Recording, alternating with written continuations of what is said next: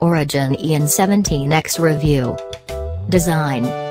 From here on out, I'm calling the Origin EON 17X Afternoon Delight, because it most definitely looks like a skyrocket in flight. Origin PC switched things up a bit, adding a slate gray, brushed aluminum panel that separates and accentuates the pair of dark gray, metal speaker grills in the rest of the lid, which is made of matte black plastic. The light gray Origin emblem, reminiscent of a far-flung galaxy, is prominently centered at the top. Display. Whoever thinks that matte displays don't have vivid colors clearly hasn't seen the EON 17X's 17.3-inch, 3840 by 2160 screen.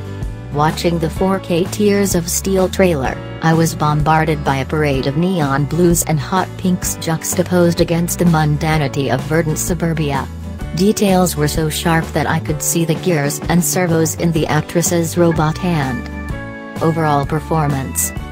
Sure, Origin PC could have slapped a regular old mobile processor in the EON17X, but where's the fun in that? Instead, the system has a 4.2 GHz Intel Core i7-7700K desktop CPU with 16 GB of RAM, which can be overclocked if you're so inclined.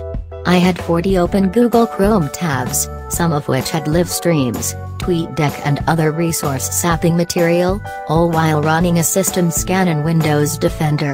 The EON17X never hit any lag and carried on, unbothered by the whole ordeal. Battery life.